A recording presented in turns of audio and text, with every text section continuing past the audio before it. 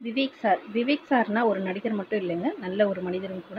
இன்றைக்கி இன்னைக்கு வந்து தமிழ்நாடே வந்து விவேக் சாரை இழந்துட்டு ரொம்ப மன வருத்தத்துலையும் ரொம்ப துயரத்திலும் நம்ம எல்லாருமே இருக்கிறோம். சின்ன குழந்தைங்கள்லேருந்து பெரியவங்க வரைக்கும் எல்லாருமே ரொம்ப வருத்தத்தில் இருப்போங்க. ஆமாங்க அவருடைய ஒரு சின்ன வயசில் நடந்த அன் விஷயங்களை இன்றைக்கி நாம் பார்க்கலாங்க. விவேக் சார் சின்ன வயசாக இருக்கும் போது அவங்க குன்னூரில் வச்சுருக்காங்கங்க. விவேக் சார் அங்கே உள்ள ஒரு ஸ்கூலில் தான் படிச்சிருக்காங்க. ஓட்டுப்பட்டறை சாலையில் இருக்கக்கூடிய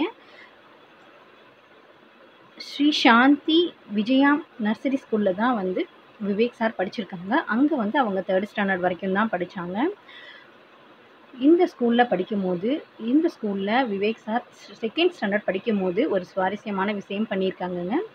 அந் அந்த விஷயத்தை இப்போ அவங்களோட டீச்சர்ஸ் வந்து அவரோட கிளாஸ் டீச்சராக இருந்தவங்க இப்போ சார் இறந்ததுக்கு பின்னாடி வந்து நினைவு கூ- நினைவு கூறியிருக்கிறாங்க அந்த விஷயம் என்னங்கிறத சார் ஏற்கனவே வந்து ஒரு வீடியோலையும் சொல்லியிருக்கிறாங்க. அந்த வீடியோவையும் நான் இதோட லிங்க் ப ஜாயின் பண்ணியிருக்கேங்க.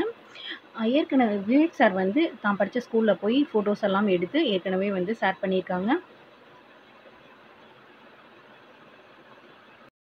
விவேக் சார் ஸ்கூல் டேஸில் ஒரு லெட்டர் எழுதியிருக்கிறாங்க. ரொம்ப ரொம்ப ஒரு ஹையஸ்டான பீப்புளுக்கு இந்த லெட்டரை அவர் எழுதியிருக்காரு. யாருக்கு எழுதியிருக்காருங்கிறத இந்த வீடியோவில் பார்க்க இதுதாங்க அந்த லெட்டர் அந்த லெட்டரை யாருக்கு எழுதியிருக்காருங்கிறத இந்த வீடியோவை ஸ்கிப் பண்ணாமல் ஃபுல்லாக பாருங்கள் ரொம்ப சின்ன பையனாக குன்னூரில் படிச்சுட்டு இருந்தப்போ மகாத்மா காந்தியுடைய பிறந்த நாளுக்கு ஒரு ஸ்பீச் கொடுக்கணும் அப்படின்னு சொல்லி சொன்னப்போ எங்கள் அப்பா எனக்கு ஒரு சின்ன ஸ்பீச் அந்த டைமில் தான் நான் இந்திரா காந்திக்கு ஒரு லெட்டர் கூட எழுதுறேன். அந்த வயசில் தான். என்னன்னா என்னோடது நவம்பர் நைன்டீன்த் என் பர்த்டே வரும் மேடத்தோட இந்திரா காந்தி அம்மையாருடைய பிறந்த நாளும் நவம்பர் பத்தொம்போது தான். கண்டிப்பாக வருஷங்கள் வேறு தான் இருந்தாலும் உன் பிறந்த நாளும் இந்திரா காந்தி அம்மாவுடைய அப்போ வந்து அவங்க பிரைம் மினிஸ்டர் வந்து எனக்கு ஒரு ஆசை. அப்போ நம்ம ஏன் ஒரு மை பர்த்டே என் இங்கிலீஷே வித்தியாசமாக இருந்துச்சு. மை பர்த்டே இவர் birthday same birthday I wish you you wish me அப்படின்னு ஒன்று எழுதி அனுப்புறேன் அது புரியுது இல்ல அது போதும் இதுதான் பின்னாடி சினிமாவில் வந்து அசைம் சப்ரிங் ஃப்ரம் ஃபீவரா வந்ததான்னு தெரியல.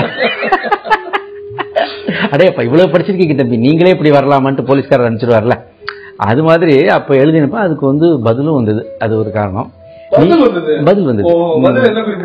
பதில் நீங்க இருக்கு ஆபீஸ்ல இருக்க அந்த கடிதமே greetings thanks for your greetings I also wish you very happy birthday Indira Gandhi prime minister of இந்தியான்னு போட்டு லெட்டர் அனுப்பியிருந்தாங்க. தென்கோடியில இருந்து ஒரு சின்ன பிள்ளை அமிச்சதுக்கு ஆமா அப்ப அனுப்பியிருந்தாங்க. அதை கொண்டாந்து குதிரையில கொண்டாந்து ஜவான் கொடுத்து நான் ஓடி போய் ஆப்பிள் தோட்டத்துக்கு பின்னாடி மறைஞ்சிட்டேன் குன்னூர்ல. ஏதோ போலீஸ் தேடுதுட்டு அப்புறம் எங்க அம்மா வந்து டே டே பிரைம் மினிஸ்டர் இருந்து லெட்டர் வந்திருக்கடா லெட்டர் எனக்கு தேடி கண்டுபிடிச்சாங்க. அந்த பேரிக்கா தோட்டத்துக்குள்ள கண்டுபிடிச்சு கூட்டு வந்தாங்க.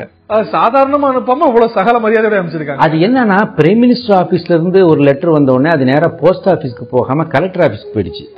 கலெக்டர் என்ன பண்ணிட்டாரு? ஒரு சிட்டிசனுக்கு பிஎம் ஏதோ லெட்டர் எழுதியிருக்காங்க. இதை கொண்டு போய் மரியாதையாக கொடுத்துருவாங்கன்னு சொல்லிட்டு அது மலை குன்றுன்றதுனால